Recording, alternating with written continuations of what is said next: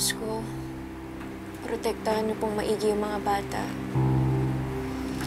Huwag niyo po sila hayaang saktan ni Rosette o ni Jeremy.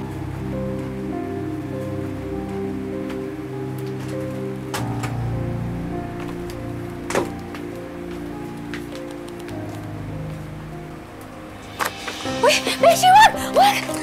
Mas madali mo sila makakalimutan kung di mo sila tititigan. Ano ba, Beshi? Daddy, sorry.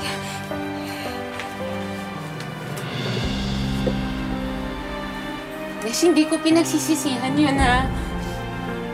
Ikaw kasi. Gumising ka na. Hindi ikaw si Rosette. Hindi mo asawa si Homer. Hindi mo anak si Jonik at si Celine.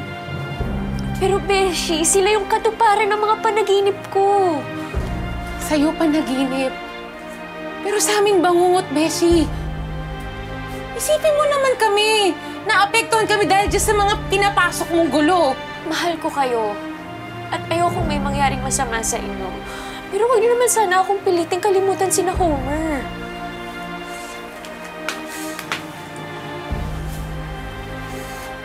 Beshi, mahal. Mahal mo kami. Pero may pero eh. Hindi na dapat namin tanungin kung sinong pipiliin mo. Obvious naman na may napili ka na eh. Beshi!